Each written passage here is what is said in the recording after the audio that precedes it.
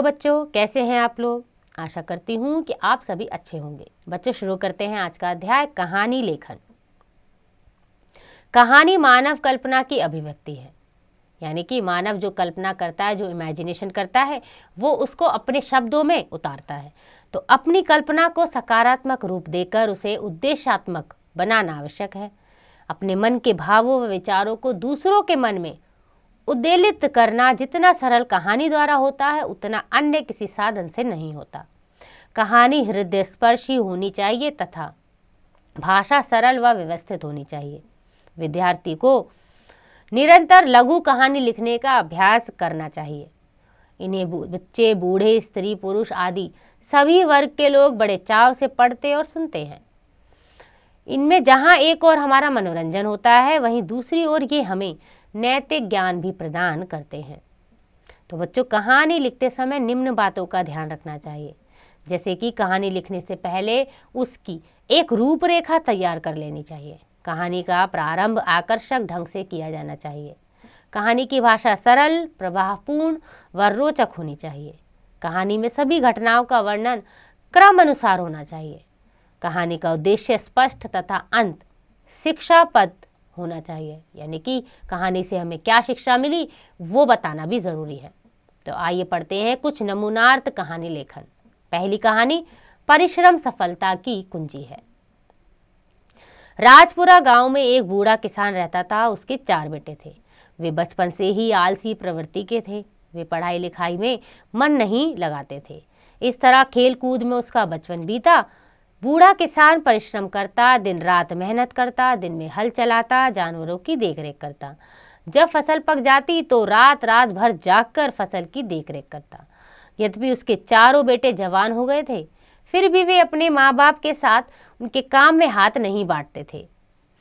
आखिर अधिक परिश्रम के कारण बूढ़ा किसान बीमार रहने लगा। एक दिन जब वह बहुत बीमार था, उसने अपने चारों बेटों को बुलाया और कहा जैसा कि तुम लोग देखते ही रहे हो कि मेरा स्वास्थ्य खराब है। मैं कभी भी मर सकता हूँ। इसलिए तुम मेरे बाद खेत में छिपाए हुए धन को निकालकर चारों भाई आपस में बांट लेना। इसके ठीक दो दिन बाद बूढ़ा किसान मर गया।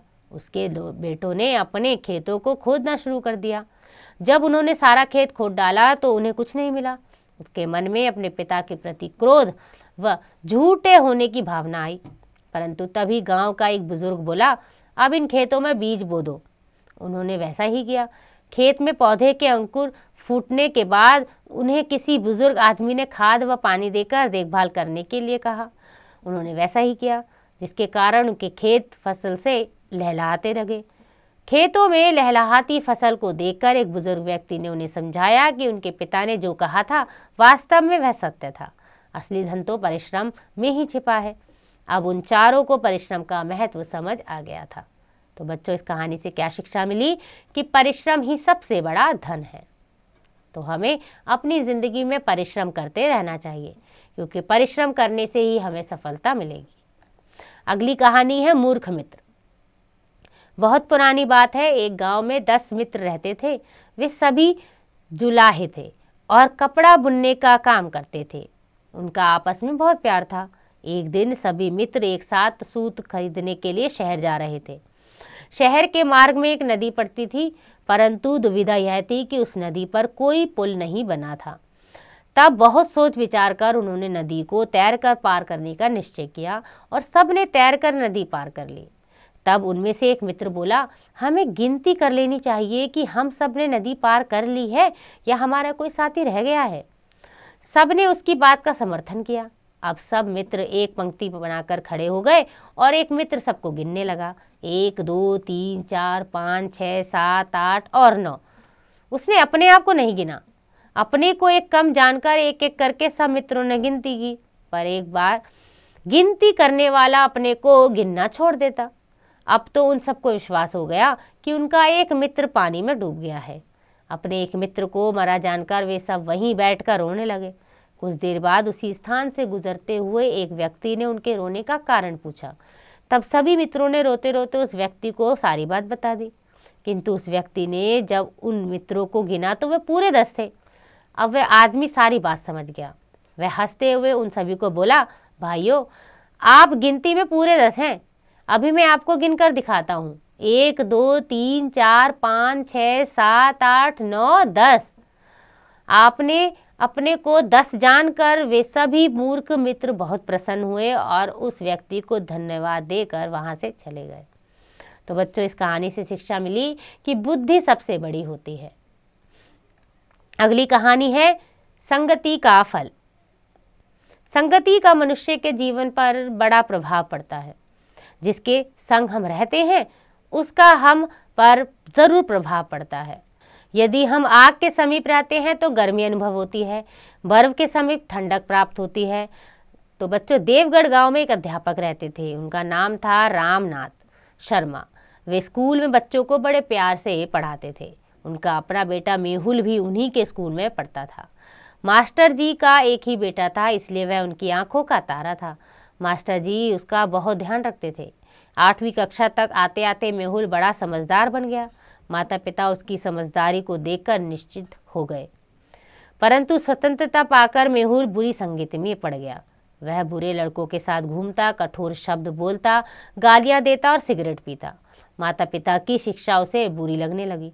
एक दिन मास्टर रामनाथ जी ने उसे बाज़ार ले गए। वे एक टोकरी से सेब खरीद कर घर लाए। उन सेबों में से एक गला हुआ सेब था। मेहुल उसे निकालकर बाहर फेंकने चाहता था क्योंकि उससे दुर्गंध आ रही थी। परंतु मास्टर जी ने ऐसा करने से उसे मना कर दिया। उन्होंने जानबूझकर वह गला, सड़ा, सेब, टोकरी में रखवा दिया और उसे ढक दिया। दूसरे दिन पिता ने सवेरे मेहुल से कहा, बेटा, सेब की टोकरी में से खाने के लिए कुछ सेब ले आओ। मेहुल ने कहा, पिताजी, मैं अभी लेकर आता हूँ। यह सुनकर मेहुल ने टोकरी खोली। टोकरी में सभी गले सेबों को देखकर वह बड़ा निराश हुआ।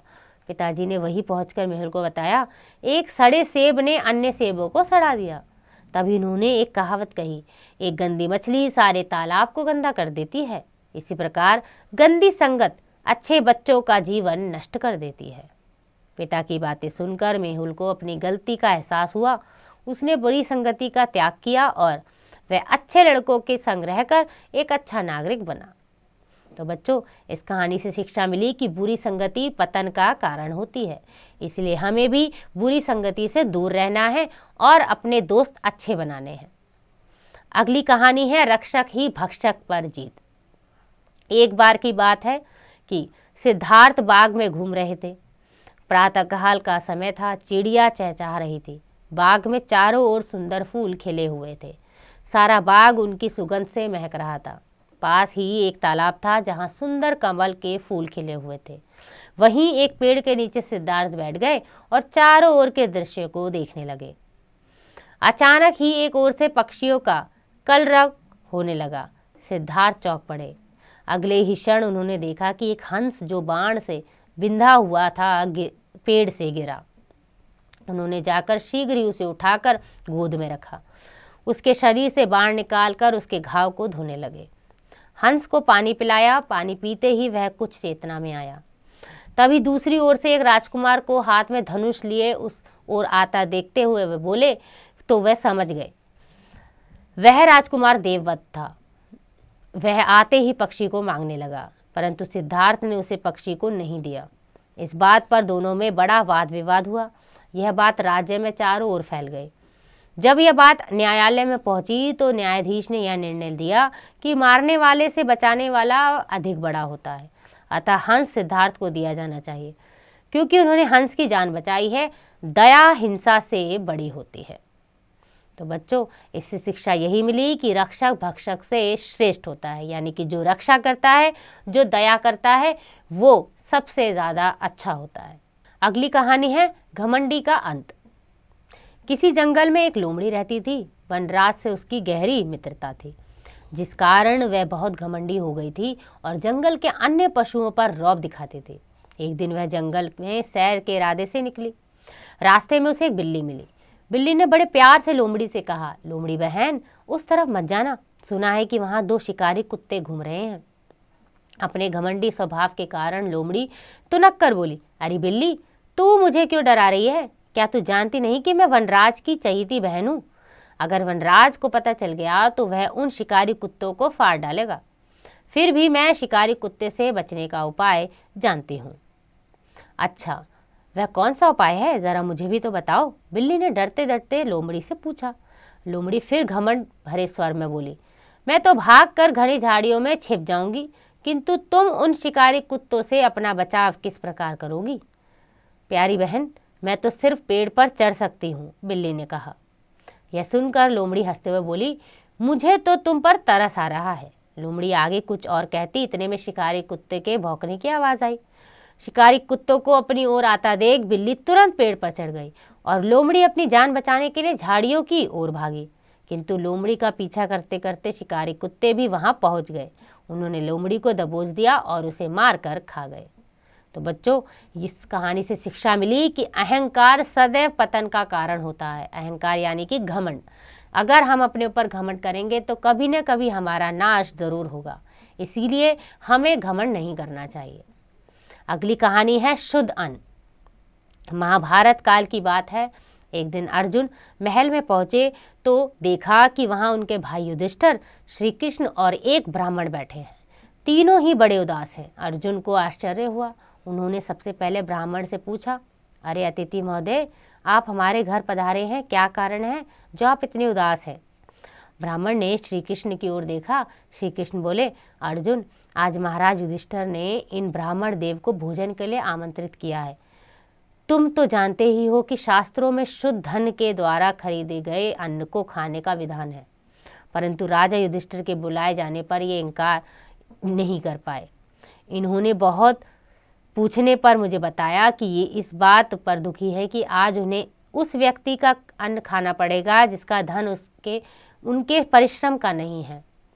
अर्जुन समझ गए कि ब्राह्मण पक्के सत्यनिष्ठ है, अतः वह असात्विक भोजन नहीं करना चाहते। अर्जुन ने कहा, मैं ब्राह्मण देव की व्यथा को समझ रहा हूँ। परंतु महाराज युधिष्ठर क्यों दुखी हैं? धर्मपुत्र युधिष्ठर ने उत्तर दिया, मैं यह सोचकर दुखी हूँ कि काश मैं अपने परिश्रम द्वारा उपार्जित धन से इन अतिथि की सेवा कर पाता। यह सुनकर अर्जुन को अपने भाई की महानता पर गर्व हुआ। तभी श्री कृष्ण के चेहरे पर भी बड़ी चिंता दिखाई दी। अब तो अर्जुन के आश्चर्य की सीमा न रही। आप तो ज्ञानी हैं, स्वयं तप, तेज, रूपी धर्म है। आप किस चिंता में पड़ गए हैं? अर्जुन ने प्रश्न किया। ठंडी सांस लेते हुए श्री कृष्ण बोले मैं यह सोचकर उदास हूँ कि अभी तो भोजन करने वाले और कराने वाले दोनों में यह विवेक और बोध है कि कैसा भोजन करना चाहिए और कैसा कराना चाहिए। परंतु आने वाले समय में तो ब्राह्मण स्वयं अन्याय के धन से मिलने वाले भोज में दौड़ लगाएँगे। उन्हें केवल स्वादिष्ट भोजन का ही लोभ रहेगा। वे यह कहाँ सोचेंगे कि किसी का धन है या अन्न शुद्ध है या नहीं। इस प्रकार पाप या न्याय द्वारा किसी भी प्रकार धन कमाकर जब लोग दान करेंगे तो इस पृथ्वी की क्या हालत होगी? यह कहकर सदैव मुस्कुराने वाले श्री कृष्ण भी सोच में पड़ गए। तीनों के विचारों की उच्चता को जानकर अर्जुन का सिर श्रद्धा से झुक गया। वह बोला, आप तीनों धन्य हैं। जो इतने विवेक और विचार से अन्न को परखने के बाद ही उसका महत्व आंकते हैं। तो बच्चों, इस कहानी से शिक्षा मिली कि हमें अपने परिश्रम और ईमानदारी से कमाए गए धन पर ही निर्भर रहना चाहिए। परिश्रम यानी मेहनत से कमाया हुआ धन ही हमारे जीवन को सही बनाएगा। आशा करती हूँ कि आपको ये कहानी समझ आ गई होगी। आइए दोहराएँ, कहानी मानव कल्पना की अभिव्यक्ति है। कहानी से मनोरंजन के साथ साथ नैतिक ज्ञान भी मिलता है। कहानी की भाषा सरल प्रभावपूर्ण व रोचक होनी चाहिए और कहानी का उद्देश्य स्पष्ट तथा अंत शिक्षा पद होना चाहिए। तो बच्चों, आशा करती हूँ कि आपको यह अध्याय समझ आ गया होगा। इसका अभ्यास आप स्वयं कीजिएगा।